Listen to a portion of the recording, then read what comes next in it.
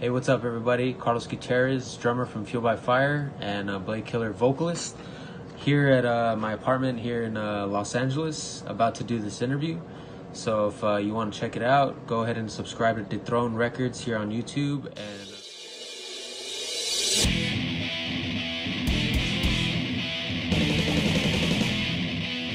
so yeah, man, uh, just coping with the pandemic. Uh, obviously, obviously things in 2020 were pretty crazy, uh, especially here living in the city. Just um, it was super quiet, super different vibe with uh, nobody being out and just really quiet. And uh, you, we're used to tons of noise and all kinds of craziness here in the city. So, uh, but yeah, living here in Los Angeles, uh, it was so pretty different, man. Uh, uh, other than that, we've just been hanging out here at home with our dog and smoking a lot of weed and doing our hobbies and working at home and just kind of been chilling. Um, things are cool. Uh, everybody in the bands have been uh, been good. Everybody's been doing their thing. We all been in contact and uh, we started jamming now and you know just kind of doing what we can do. So hopefully we can see you guys pretty soon.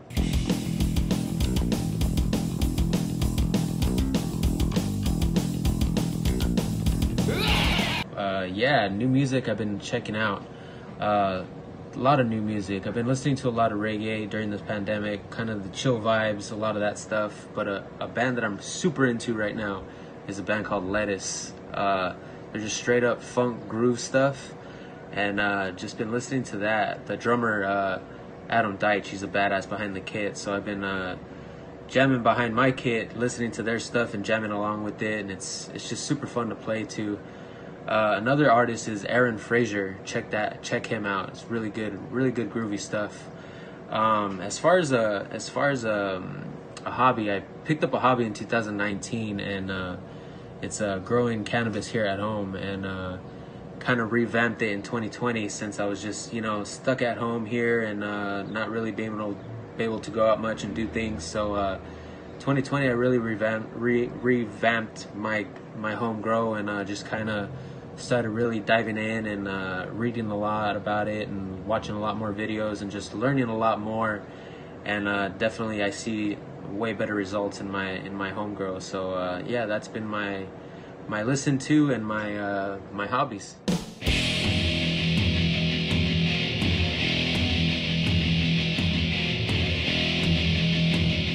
Uh, yeah, Fueled by Fire does have an update. Um, we planned on releasing a four song EP in 2020, but obviously, you know, things went to shit. So uh, we started recording that one in 2019, late 2019, early 2020. World went to shit, so we picked. We weren't able to go into the studio and finish it up. So we got back in there earlier this year, finished it up, and uh, Carlos Cruz mixed it, and Joel Grind mastered it. So right now, all we're waiting for is test pressings to come in, so we can get a so we can approve it and get in a release date, and it'll be released through M Theory. Um, it'll be released on seven inches and CD and all uh, streaming platforms. So uh, keep a lookout for that, and uh, hopefully that comes out later this year. That's what we're looking at. But uh, it sounds heavy. I'm really excited to put that out. But um, and as far as Blade Killer.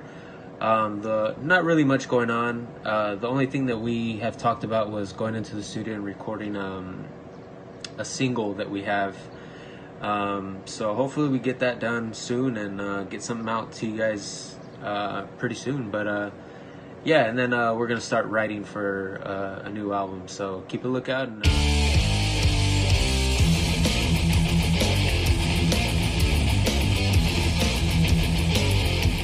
Um, yeah, brief history on Blade Killer. Um, Fueled by Fire actually started as a heavy metal band back in the day, or tried to sound more heavy metal. So just heavy metal has been a passion. I've always wanted to do a project like that. So I've had a bunch of riffs and uh, some stuff that I've had put aside.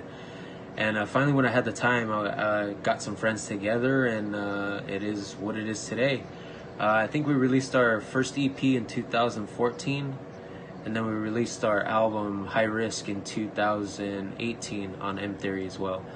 But um, yeah, that's uh, that's a little bit of history on Blade Killer. Um, like I said, as far as updates, um, we plan on recording a single and uh, hopefully getting that out to you guys soon. So, uh, like I said, keep up, keep updated.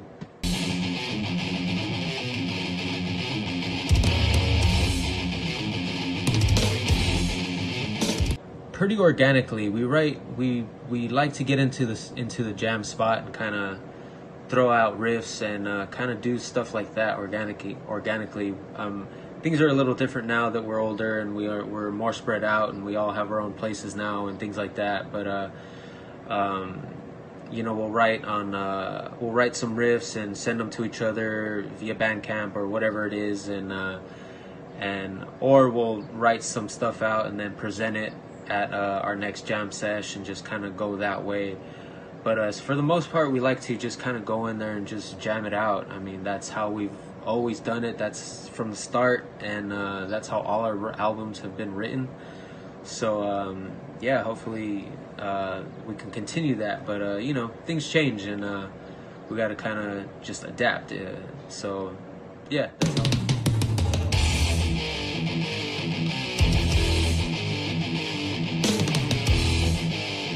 Um, me personally, uh, I eat plant based, so anything that is plant based, um, I'm good. I'll I'll eat. Uh, uh, usually for drink, it's just water or like uh, sparkling water for me. Uh, we usually uh, ask for beer, um, but the but the rest of the guys, you know, they eat regular meat, whatever. Um, but uh, yeah, other than that, just kind of some snacks here and there, and uh, and plant based food, drink, and uh, good time.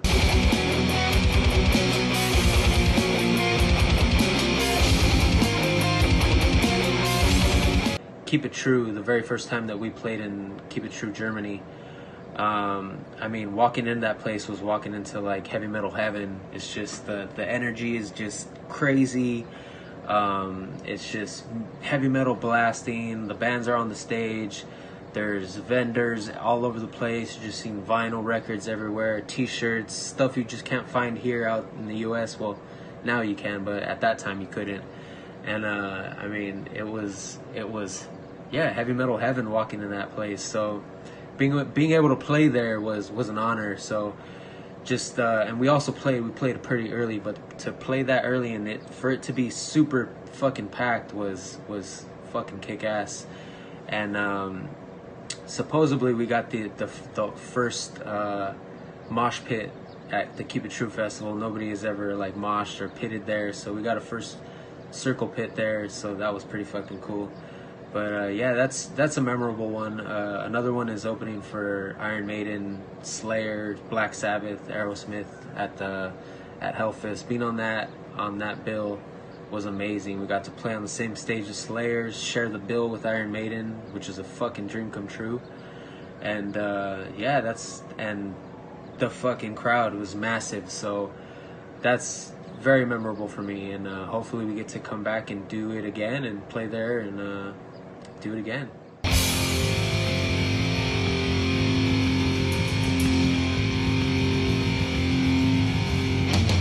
Man, I don't know. Um, probably something along what I'm doing with my hobby, which would be uh, growing cannabis. Uh, but I don't know. I mean, music is such a huge part of my life. Uh, I've been playing music since I was 14. Um, had this band since, and uh, you know so I, I can't imagine doing anything else really music is just a huge thing if uh, in my life and um, I'm not sure what I would be doing but it would probably be pursuing uh, pursuing cannabis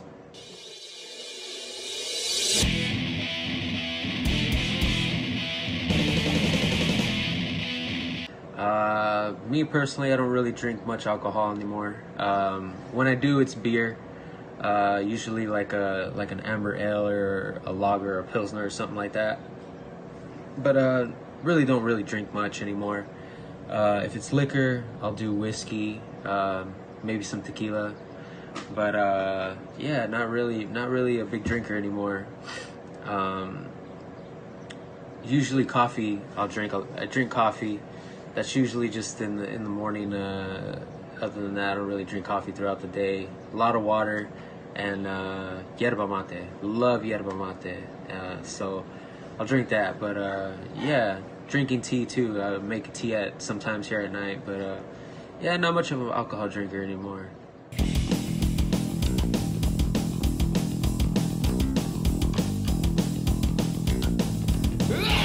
So it's asking me to show you my current setup, but uh, unfortunately I'm here at my apartment and I can't show you my setup. But uh, my current setup right now is a D-Drum Reflex. Uh, I'm endorsed by D-Drum, so it's a D-Drum Reflex uh, four-piece. We got a, I believe it's a 12-inch tom, rack tom, 16-inch floor tom, 14-inch uh, steel snare. That thing's a fucking beast. Um, I use all Paiste cymbals, Paiste RUDE cymbals.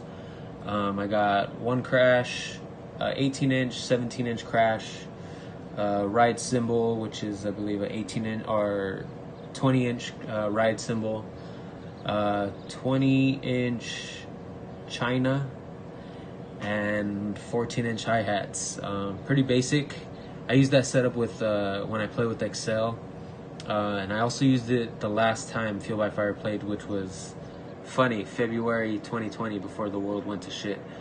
But that was that was the setup that I used. But uh, continuing forward for Fueled by Fire, I would probably just add like another one more rack toms for for a five piece. Um, but other than that, yeah, that's my current setup.